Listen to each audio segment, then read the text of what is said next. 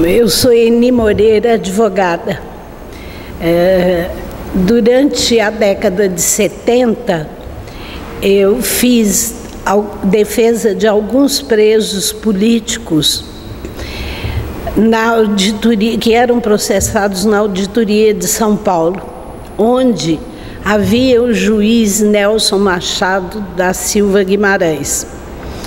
Esse juiz uh, era um homem extremamente rígido e durante o ano de 1972, os presos políticos de São Paulo fizeram uma greve de fome contra a separação deles, que estavam sendo distribuídos por vários presídios. Uh, o doutor Nelson mandou, é, ordenou, a, o, autorizou, melhor dizendo, o DOI-CODE a retirar do presídio o Paulo de Tarso Venceslau e o Paulo de Tarso Vanuc.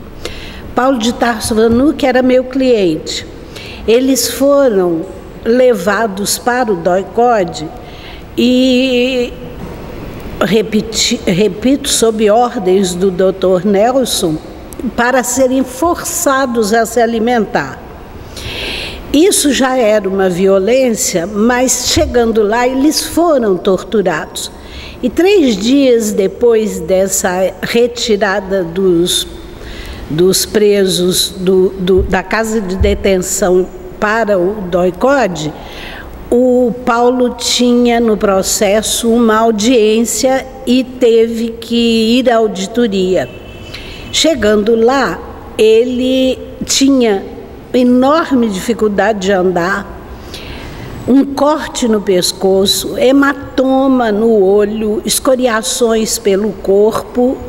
Ele segurava um braço e uh, eu perguntei a ele o que é isso. Ele me disse: é tortura.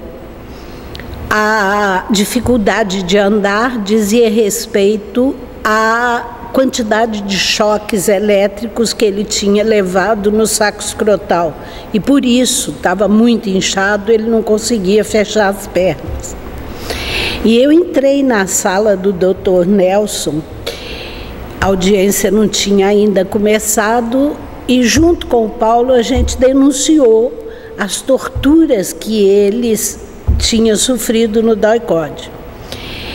E o doutor Nelson não estava acreditando, mas é, impediu que o, que o Paulo tirasse a calça sob o pretexto de que eu era mulher e não ficaria bem.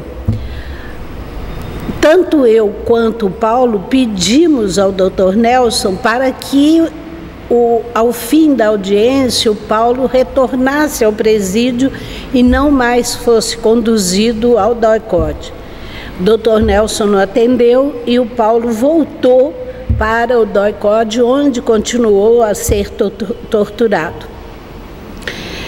O, de posse dessa informação, eu pedi ao Tribunal Militar para que verificasse esse tipo de comportamento do Dr. Nelson, até porque ele era o zerivezeiro em ouvir depoimentos dos presos que ele interrogava durante o processo, todo preso invariavelmente denunciava tortura.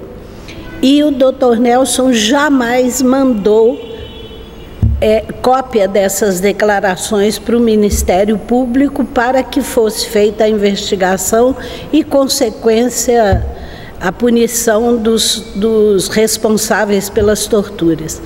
Mas o pedido que eu fiz ao Tribunal Militar não deu em nada.